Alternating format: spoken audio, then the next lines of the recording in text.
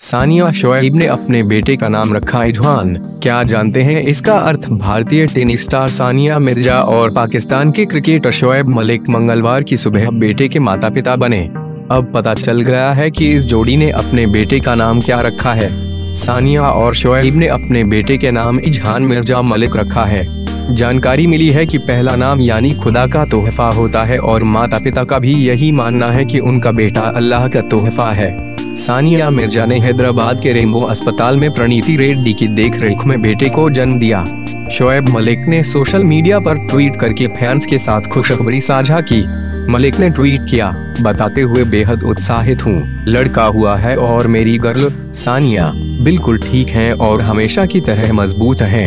अलहमदुल्ला आपकी दुआओं और शुभकामनाओं के लिए शुक्रिया। हम बहुत शुक्रगुजार हैं, शोएब ने आखिर में हैश टैग लगाते हुए लिखा, बेबी मिर्ज़ा मलिक।